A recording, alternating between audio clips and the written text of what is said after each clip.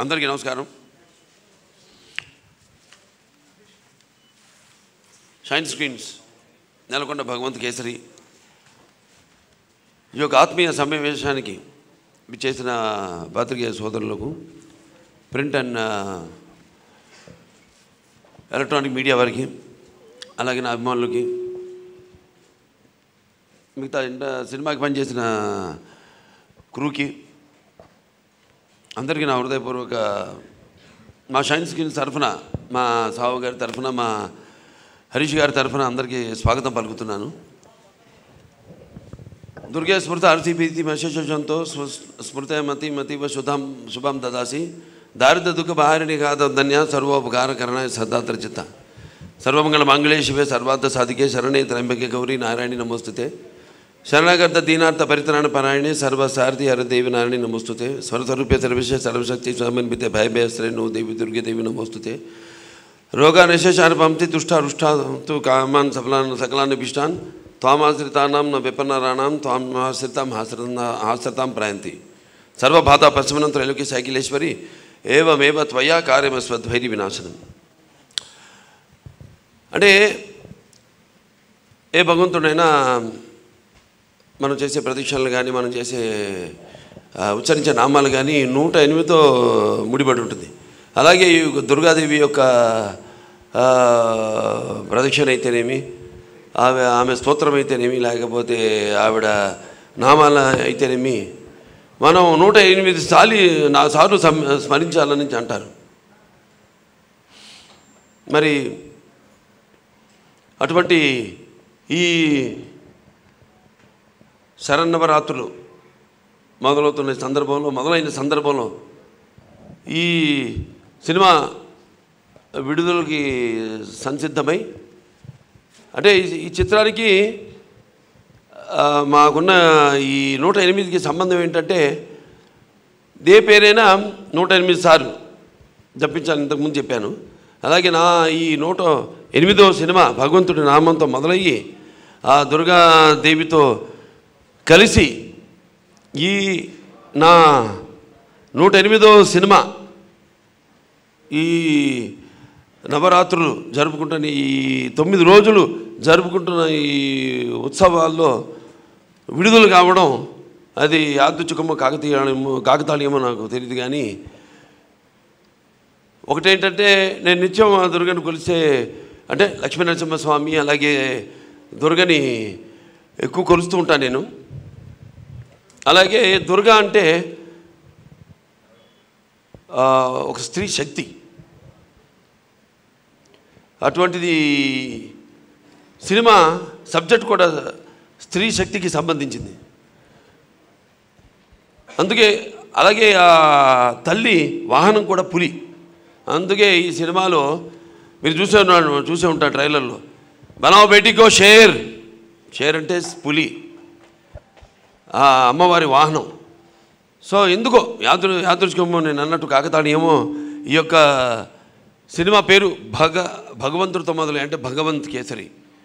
తో అమ్మవారు అంటే బనావ్ బేటికో షేర్ అని ఏదైతే ఇతివృత్తం ఏదైతే సినిమాని మనం కథాంశంగా తీసుకున్నామో మరి ఈ సినిమా కూడా రేపు చూస్తారు.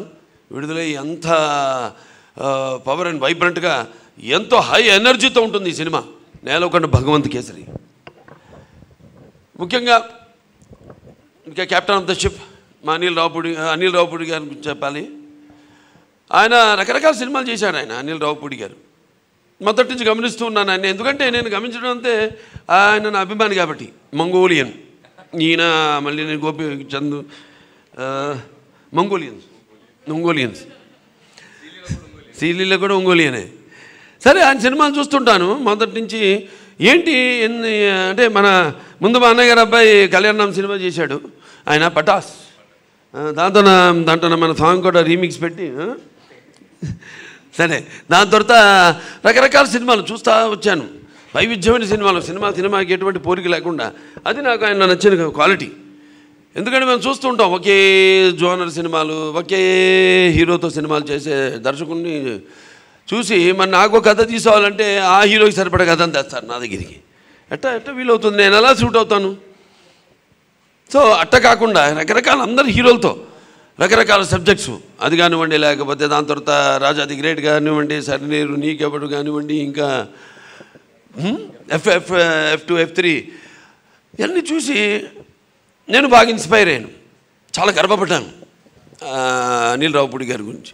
ఎందుకంటే ముఖ్యంగా నా అభిమాని అతను. ఇలా వైవిధ్యం సినిమాలు చేసుకుంటూ తనకంటూ తను ఒక ప్రత్యేకతను తను ఆపాదించుకున్నాడు ఆయన. అదో గర్వం. సరే ఆ తర్వాత నాకు కొంత కొందరు ఉంటారు. జీవితంలో ఈ స్టీఫెన్ స్పీగిల్ వాళ్ళు రకరకాల సినిమాలు చేసి ఫస్ట్ షుగర్లన్ ఎక్స్ప్రెస్ అయితేనేంటి దాని తర్వాత డ్యూయల్ ఏంటి దాని తర్వాత జాజ్ ఏంటి దాని తర్వాత జురాసిక్ పార్క్ ఏంటి లేకపోతే Raiders of the Lost Ark ఏంటి లేకపోతే ఈటీ ఏంటి లేకపోతే షండ్లస్ లిస్ట్ ఏంటి ఇలా రకరకాల సినిమాలు చేసే డైరెక్టర్స్. అది చూసి ఎంతో ఆనందపడి ఆయన కథతో నా దగ్గరికి వచ్చినప్పుడు ఒక ఛాలెంజ్ లాగా తీసుకున్నాం ఈ సినిమా మీ ఇద్దరం. ఎందుకంటే ఆయన చెప్పినట్టు రకరకాల సినిమాలు పాత్రలు నాకు అవకాశం రావడం అనేది నా అదృష్టంగా భావిస్తున్నాను. నాన్నగారు లాగే మా నాన్నగారు లాగే వాటిని ఛాలెంజ్గా తీసుకుని చేయడం అలాగే దాన్ని బ్రహ్మాండంగా దా దానికి ఒక రూపం కల్పించడం. చాలా హోంవర్క్ చేసాం ఈ సినిమాకి. గెటప్ నుంచి కూడా యాస నుంచి తెలంగాణ మాండలికి యాస నుంచి కూడా చాలా. చేసి చివరికి ఒక మంచి సినిమా ఆయన జోనర్కి భిన్నంగా. ఎలాగైతే ఆయన జోనర్ ఎప్పుడు సినిమా సినిమాకి నేను అన్నట్టు పోలిక లేకుండా చేస్తూ వచ్చారు. అలాగే ఈ సినిమా కూడా ఉండాలి.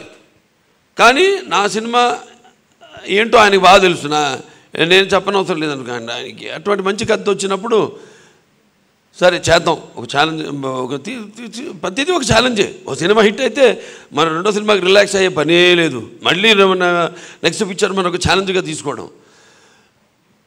కాకపోతే ఏంటంటే ఛాలెంజ్ ఛాలెంజ్ ఎలాంటి ఛాలెంజ్ అంటే స్పర్ధతే బద్ధతే విద్య అంటాం. అంటే పోటీ లేనిదే ఏ సినిమాలో ఏ రంగంలోనూ ఫలితాలంతా ఫలితాలంత ఆశాజనకంగా ఉండవు. అలాగే మాకు మేమేమే పోటీ. నాకు ఎవ్వరు పోటీ లేరు నేను ఎవరిని పట్టించుకోను.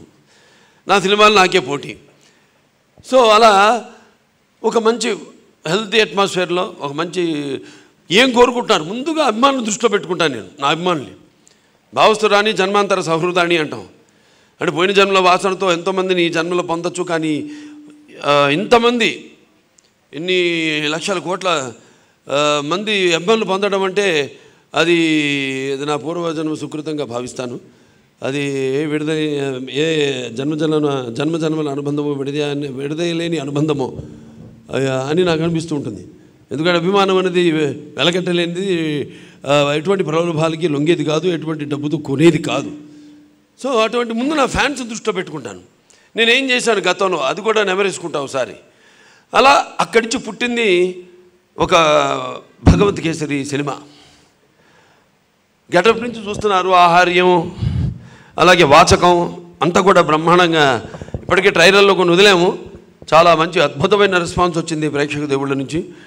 సరే ఇక తీసుకోవడం హావభావాలు. అంటే ఈ ముత్యాలు ఏట ఏటవాలుగా దొర్లితే చూడడానికి ఎంత అందంగా ఉంటాయో. అంత అందంగా ఏ రసమైనా సరే నవరసాల్లో. అది పేథాస్ కావచ్చు కామెడీ కావచ్చు ఏదైనా కావచ్చు రౌద్రం కావచ్చు ఎటువంటి ఈ ఒక రస రసాన్నైనా బ్రహ్మాండంగా నటీనటుల దగ్గర నుంచి ఆ టెక్నీషియన్స్ దగ్గర నుంచి రాబట్టుకోగలిగ గలిగిన సత్తా ఉన్న మన ఇండస్ట్రీకి ఒక వరం అంటా నేను. చాలా గర్వంగా ఉంది వాళ్ళ ఆల్ ద బెస్ట్ మా అనిల్ రావుపూడి గారు. సరే ఇక మిగతా తమన్ గారు చెప్పనవసరం అవసరం లేదు. చెప్తా చాలా చెప్తా. ముందుకునా అమ్మా అంటే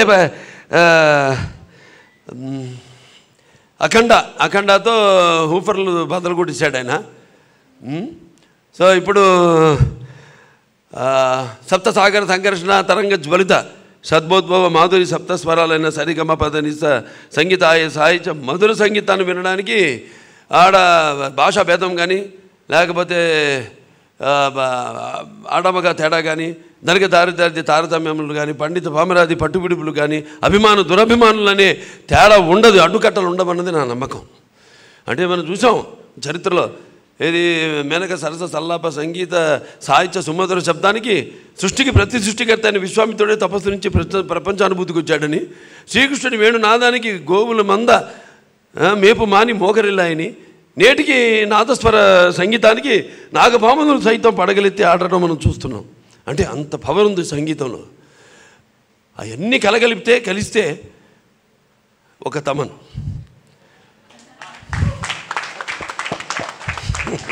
అద్భుతం అద్భుతం ఇంకా. నేను ఎందుకంటే సీల సీరియల్లో చెప్పినట్టు మనం వెళ్ళాము ఆ పక్కన డబ్బింగ్ చెప్తుంది. రమ్మంటే అసలు అనగానే స్టాక్ బ్లాక్లో అక్కడ ఎప్పుడు అయిపోయింది ఆమె తక్కని మన సినిమాలు చూపిస్తూ అక్కడ మాయమే ఇక్కడ ప్రత్యక్షమైనట్టు అంటే ఏంటంటే చూడాలి చూడాలని ఒక అతను ఆరాటం. అంటే ప్రతి వాళ్ళల్లో అది ఉంది. పనిచేసే మాకే ఉంది. రేపు ఎలా ఉంటుందో ఒకసారి ఊహించుకోండి. అద్భుతం. అసలు అంటే పాటలు పాటలు ఆణిముత్యాల లాంటి పాటలకి మణిపూసల లాంటి అద్భుతమైన బాణీలను సమకూర్చిన తమన్కి అంటే మేము ఎంత చేసినా నేను మూడింటిని నమ్ముతాను ఇండస్ట్రీలో. ఏ సినిమాకైనా మూడింటిని. అదేంటంటే ఒకటేమో డైరెక్షన్ సరే రెండోది కెమెరా మూడోది ఎడిటింగ్. ఇవి ఇంపార్టెంట్. అండ్ మ్యూజిక్ నాలుగు. Four pillars of the industry. ఎందుకంటే ఒక సినిమా బాగాలేకపోయినా దాన్ని ఎలివేట్ చేయొచ్చు. అలాగే బాలేని సినిమాను కూడా చెడగొట్టచ్చు. సో అలా అద్భుతమైన కాంబినేషన్ అంటే రామప్రసాద్ గారు కానివ్వండి అద్భుతమైన కెమెరామెన్ అసలు చించే ఆయన. సరే మాకు ఎట్లా ఉంటుందంటే నా ప్రతి కదిలిక ఆయన తెలుసు. విఎస్ స్వామి గారి దగ్గర నుంచి కూడా మేమంతా ఆయన స్టెండ్గా ఉన్నప్పుడు మేమంతా కలిసి టిఫిన్లు చేసేవాళ్ళం కలిసి భోజనం చేసేవాళ్ళం.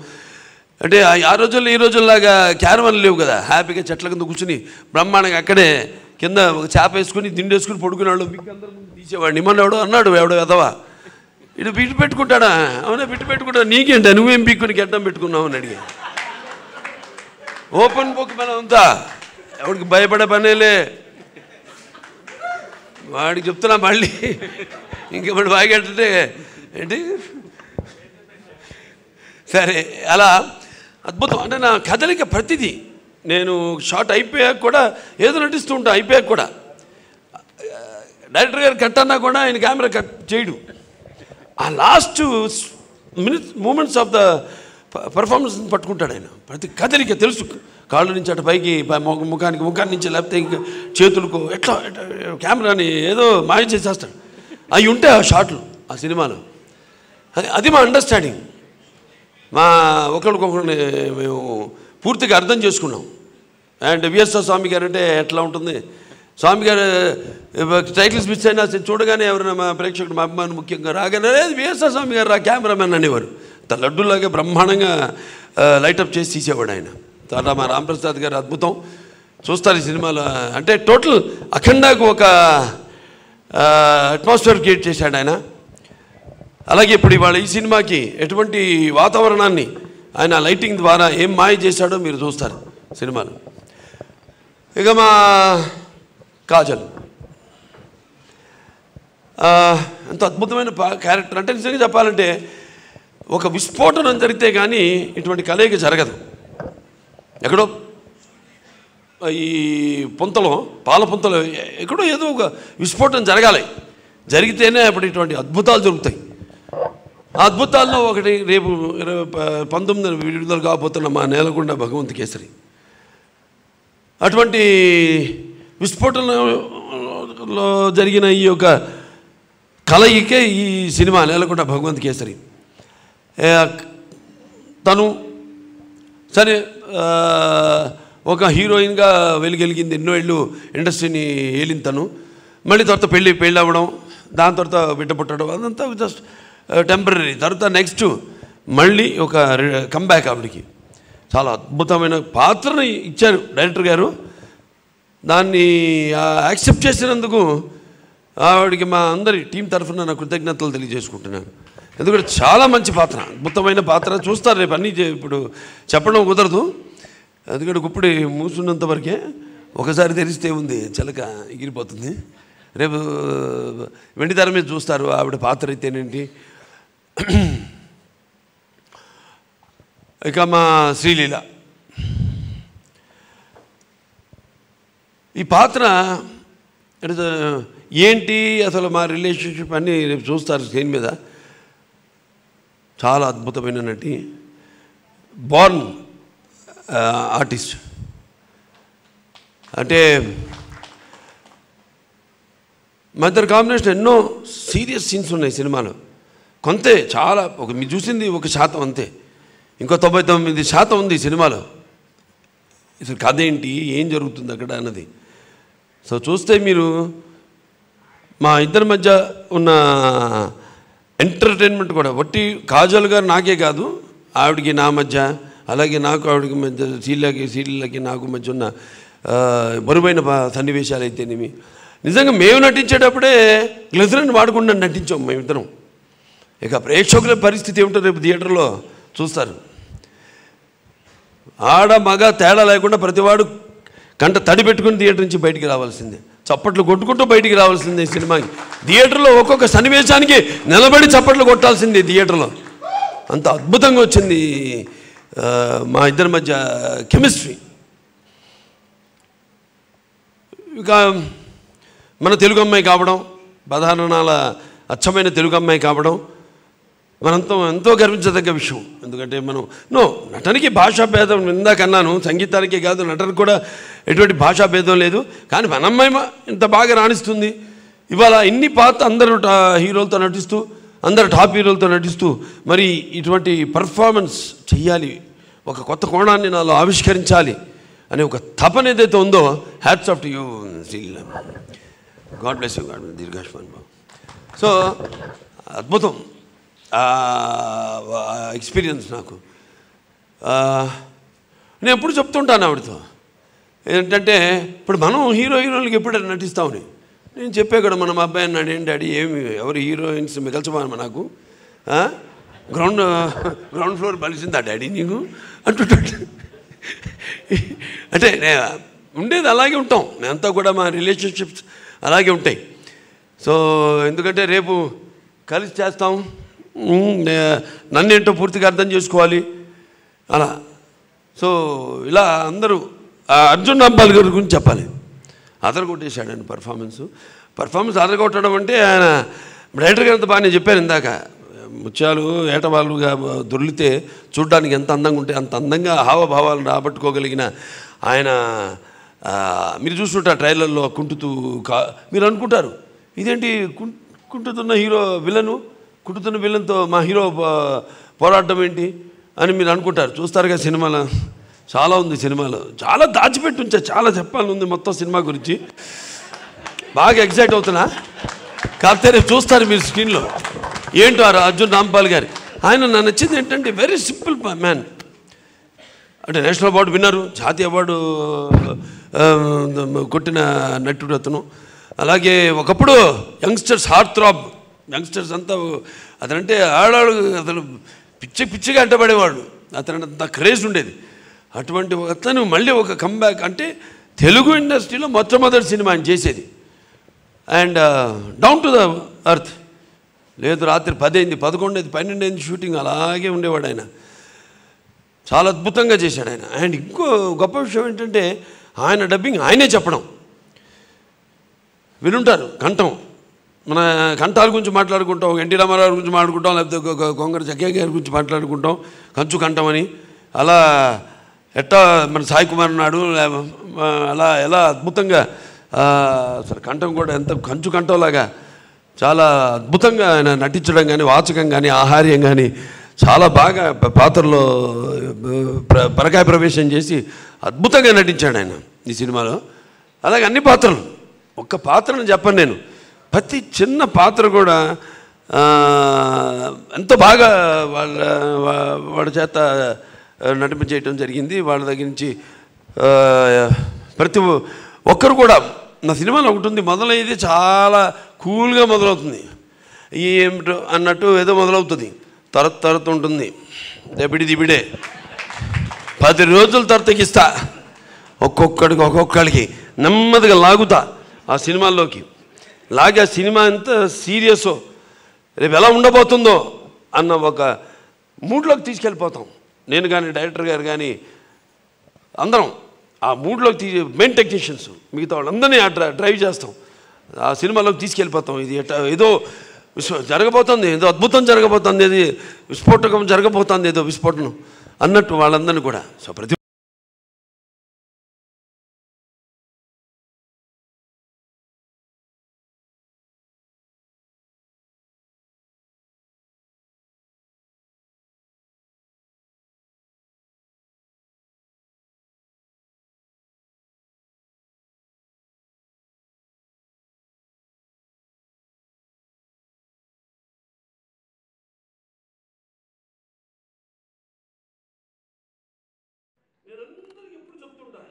బిజీగా ఉండండి. బిజీగా ఎప్పుడు ఉంటాం ఎక్కువ సినిమాలు చేస్తాయి ప్రతి హీరో కూడా ప్రతి డైరెక్టర్ కూడా ఇట్లాంటి నిర్మాత అద్భుతమైన నిర్మాతలు సాహు గారు సిల్వర్ షైన్ షైన్ ప్రొడ్యూసర్స్ మన సాహు కార్పాటి గారు అయితేనేమి లేకపోతే హరీష్ రెడ్డి గారు అయితేనేమి ఇలాంటి నిర్మాతలు ఆయన బ్యానర్ ఆ బ్యానర్ కింద ఒకటే సినిమా కాదు. ఇంకో రెండు మూడు జరుగుతున్నాయి. ఇలాగే ఎన్నో బ్యానర్లు ఇప్పుడు ఇప్పుడు వచ్చినాయి వచ్చి కార్పొరేట్ స్టైల్లో ఎక్కువ సినిమాలు తీస్తున్నాను హ్యాండ్స్ ఆఫ్ మీకు ఇద్దరికండి హరీష్ గారు అండ్ రావు గారికి అద్భుతంగా అసలు మీరు పని కల్పించడం ఉపాధి కల్పించడం ఇండస్ట్రీలో. లేకపోతే ఒక్కొక్క సినిమా సంవత్సరం సంవత్సరంన్నర తీయడం అట్ట కాకుండా జరుగుతున్నా కూడా సంవత్సరం సంవత్సరంన్నర అటు పెద్ద సినిమాలు అటు చిన్న సినిమాలన్నీ బ్యాలెన్స్ చేసుకుని పెద్ద చిన్న నేను అంటే వేరే రకంగా అనుకోవద్దు. ఇక్కడ హిట్ అయిన సినిమానే పెద్ద సినిమా. అంతే అది చిన్న సినిమా అయినా కావ అది ఎవరైనా కావచ్చు ఏ నటుడు సినిమా అయినా కావచ్చు ఏ డైరెక్టర్ సినిమా అయినా కావచ్చు హిట్ అయితే అది పెద్ద సినిమా. అదొక పెద్ద ఇండస్ట్రీకి ఒక రకంగా మేలు చేసినట్టే ఆ సినిమా. ఇవాళ తెలుగు ఇండస్ట్రీ చూస్తున్నాం మనం. అంటే పాన్ ఇండియా లెవెల్కి ఇవాళ ఉత్తర భారతదేశంలో కూడా మన సినిమాలు ఎంతగానో చూస్తున్నారు. సినిమాలు మన సినిమాలు.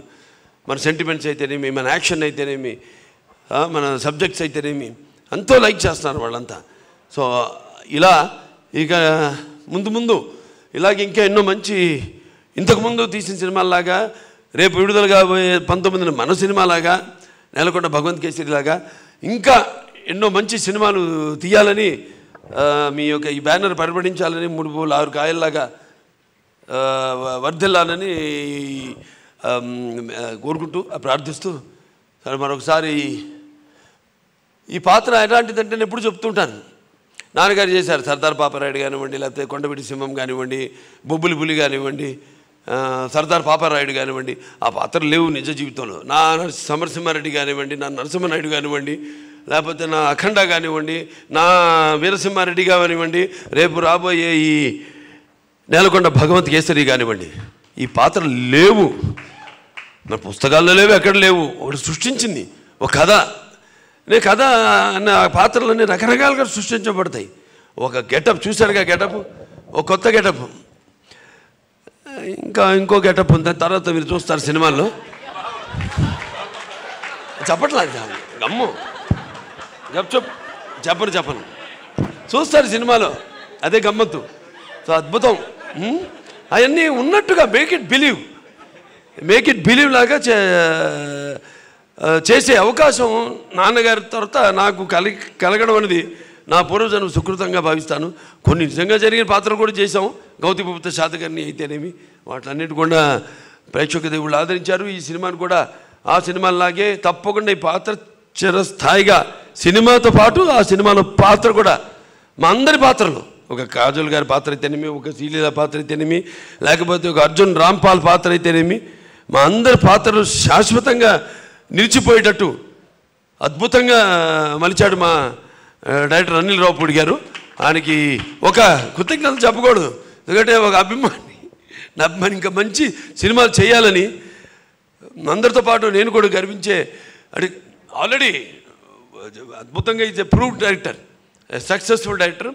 ఇక ముందు మా కాంబినేషన్లో మరో ఇంకో అద్భుతం మరొక విస్ఫోటనం జరగడానికి ఇప్పుడు ఆ సమయం సమయం సందర్భం దేనికైనా ఒకేషన్స్ అండ్ సర్కమ్స్టెన్సెస్ రావాలి. దేనికైనా ఏ రంగంలో అయినా. సో ఆ మరి ఒకేషను ఆ సర్కమ్స్టెన్స్ కోసం మళ్ళీ నేను వెయ్యి కళ్ళతో ఎదురు చూస్తుంటాను. Fantastic working with this unit and once again రేపు పంతొమ్మిదిన విడుదల కాబోతుంది మా నేలకొండ భగవత్ కేసరి. ఆశీర్వదించండి అని చెప్పడం కాదు. ఆశీర్వదిస్తారు. చూస్తారు ఈ సినిమా. బ్రహ్మాండంగా థియేటర్కి వచ్చి బాలకృష్ణ సినిమాలంటే ఇళ్ళలో కూర్చొని చూస్తే అబ్బే. బ్రో.